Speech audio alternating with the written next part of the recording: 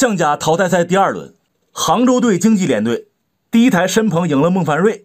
之后上场的是经济连队小将王宇博，黑方是杭州队王天一。头两盘棋战和，这是第三盘了。前面呢是中炮过河车对屏风马，互进骑兵，对车压马退边炮，小王马八进七。虽说是个老式的开局，但是里边变化倒是挺复杂的。老王上士，红方五九炮，平炮打车，双方再次亮车。黑方马七进八，要冲卒。红方车在险地啊，炮打中卒一将。黑方踩掉车一吃，位置就变了。紧接着老王进炮吃兵，要求打底象。红方底象没动啊，跳的窝心马，没有任何瑕疵。黑方冲卒过河，准备将这马跳进来，还能亮车啊，攻击红方的右翼。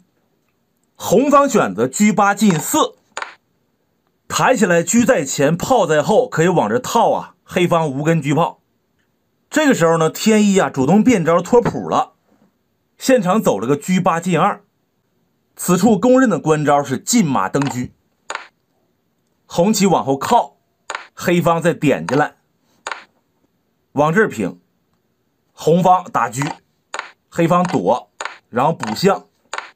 留出马的位置，黑方平炮，红方踩车，躲一下，红方再打这个，黑方退炮，红方吃掉，马踩象，炮打车，卧槽呢是有杀棋的，红方只能吃马。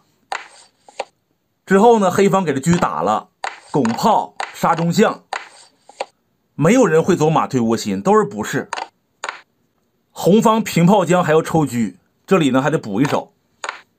红方上马，黑方吃兵，吃卒平卒。这个棋呢出现过很多盘了，双方互有胜负。刚刚看了一下官招，就是直接踩车。现场老王车八进二，托谱，车保着炮放在家里做远程支援，也没啥问题。小将左马盘河，丝毫不惧。此时黑方进马登车，往后靠，这河边人不少啊，都在那等着上船呢。黑方飞边象，这二路车有想法要出来，红方呢也没有去套住，他更直接，炮九平六，把这条线给封死了。黑方俩车都不能来了，老王车八平六，将马保护起来，找机会平卒。将他跳进去，或者说退炮打，红方稳稳的补手象。就是说你平卒的话，那我就将窝心马从这儿跳出来。有了中象，黑方不能打车。如果进马扑曹，红方暴力一点，可以假装没看见，就吃卒；稳一点呢，就是补士。阵型牢固，没啥问题。看实战，现场小卒没动。黑方车二平三，还是想冲卒把车开出来。红方跳出窝心马，卒三进一，吃吃。红方家里还差手棋，你不能吃卒啊。黑方进马，车砍士，炮打象，直接崩了。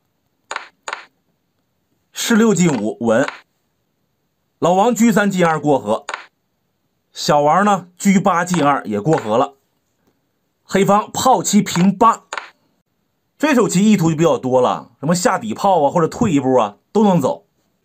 红方把这过河卒飞了，当时老王时间紧迫，再加上求胜心切，走了一步进炮打马，这一下出事了。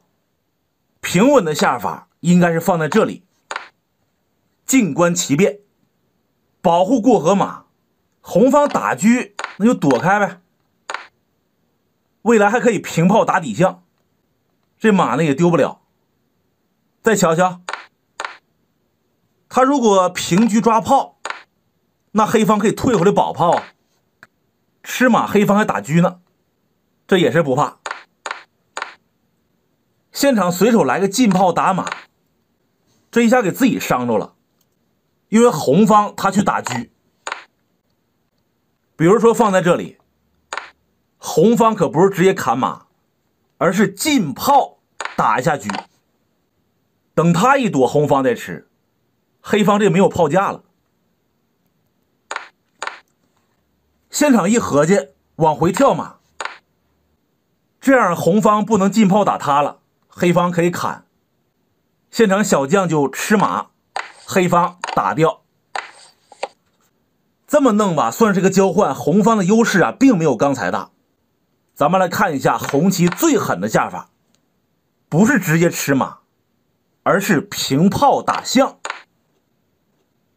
如果直接飞象，红方进炮打车，然后再车砍马。他要是往这垫呢？这个棋有意思，红方有顿挫。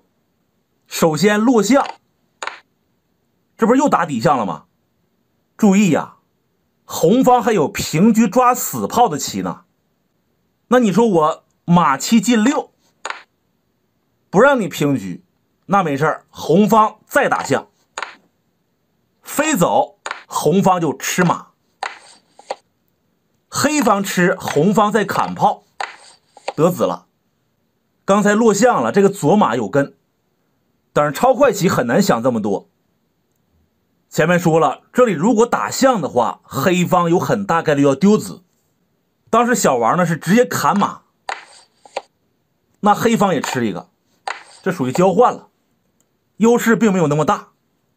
红方终于想起打象了，飞开，再平到中间来。他回来要干什么呀？给车撑腰，可以往前捅。咱们比划一下。你看这一对，你吃车红方打一将，这炮丢了。那你说我来个夹呢？这也没用，换呗，换完人家踩炮，你吃马红方再砍炮，是不是丢子？怎么化解这步？平车是比较合理的，红方不敢捅了，这炮打车呢吗？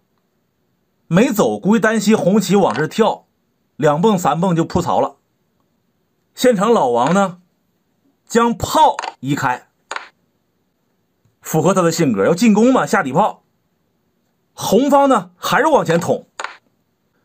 这个棋啊，虽然说黑方的炮已经躲开了，但是依然不能夹。为啥呢？红方吃，黑方吃，往这一蹦。这棋黑方没丢子儿，但是你也没棋走，红方有啊，这中兵可以过河。黑方南下，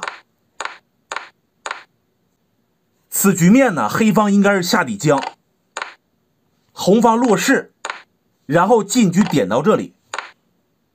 如果他砍炮，黑方就平车叫杀。你下底将军，我落将啊，不是的话，我就吃马。得回狮子，双方均势。看一下实战的下法，太可惜了。现场老王啊，他是抓了一下马，这下出事了。红旗往上跳踩车，黑方下底将落士，然后再逃。此时小王平车对子儿，胜局已定。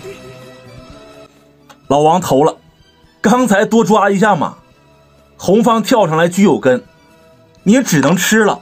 红方踩掉，这炮被抓死了。平车，砍炮，下底将垫住，吃马，再砍炮。红方多子又多兵。那么这盘棋老王为什么会说？我终于弄明白了，他是想激发其他队友的潜力啊！